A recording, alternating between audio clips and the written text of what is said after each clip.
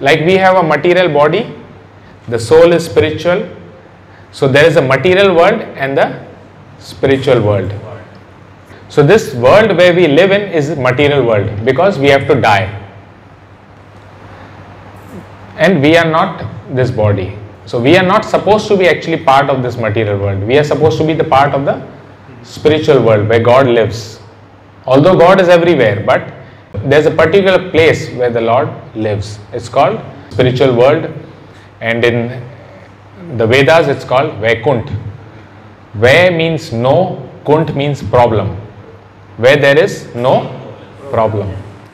So in this material world, what are the problems? Janam Mrityu Jara Vyadi Dukh Doshanu Darshanam. The Lord is saying in the Bhagavad Gita, there is birth, disease, old age and death.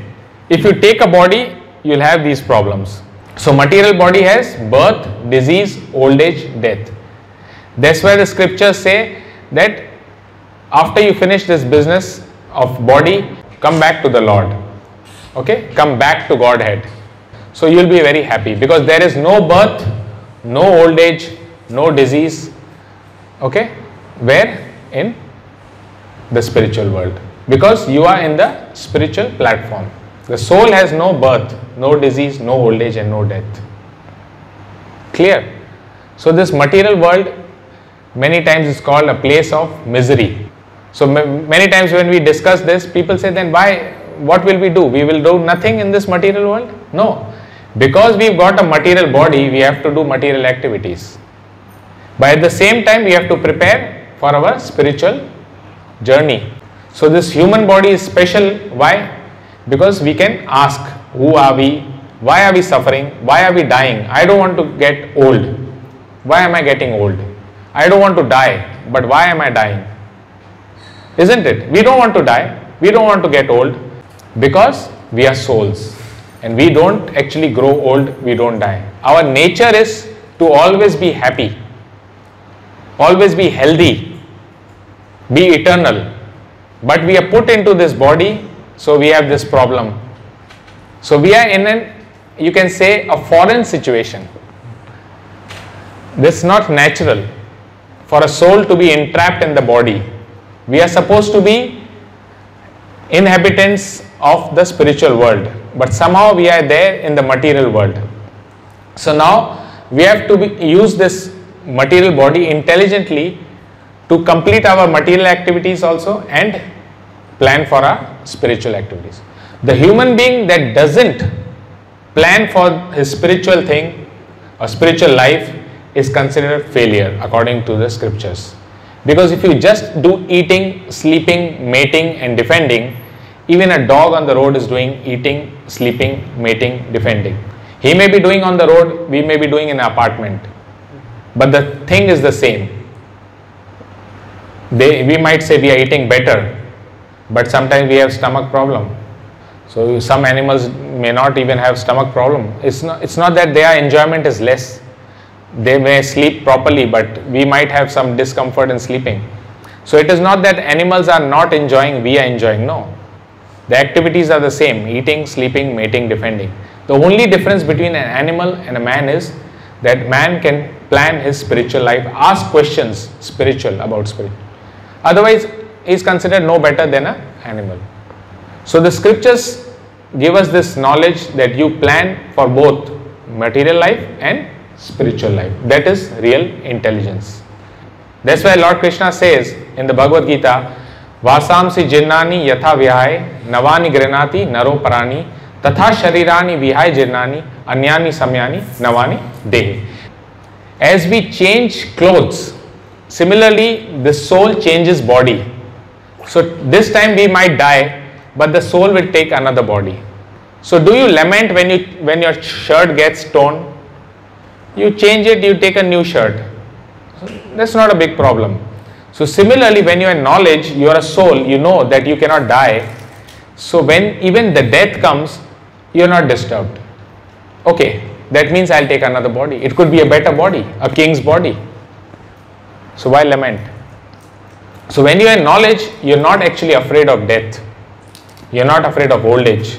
You're not afraid of disease because you've taken millions of bodies. Scriptures say Durlabha Manava Janam, it, you get this human life after 84 lakh species. Taken a lot of bodies. Now you come to a human body. It's very important for you to realize that where am I, who am I, why have I come to this world, why the Lord has created this material world, why have I taken this material body. So these are very intelligent questions that every human being should ask. But unfortunately, they don't ask. That's why there's so much of confusion, suffering, depression. So, along with temporary happiness, we have to search for eternal happiness. That's what will actually make us really happy. Even if we fail materially, you still are a winner, isn't it? If you are healthy, you lose your car, you're still okay. But if you, lose yourself, even if you have a Mercedes, Benz, whatever. So, so you, in the Bible it is said, what profiteth a man at the loss of his soul? What is the profit if you lose the, your soul? Huh? What is the profit? Huh? Isn't it? So if you don't understand about your soul, don't realize your soul, don't come to the level of soul, what is the use? What did you do? Where did you use your intelligence? Just like the animals. You are competing with the animals. So it's very important for us to understand who we are, who is God, our relationship with God, what is this material world, the nature of this material world, and what is the spiritual world. The scriptures say the spiritual world is a place where there is no misery. You, you're always very happy. You are in association with God, who is your eternal Father.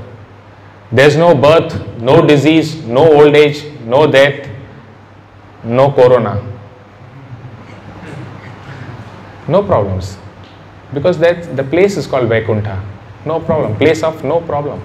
And that's what's our nature. As our nature is to be always be happy.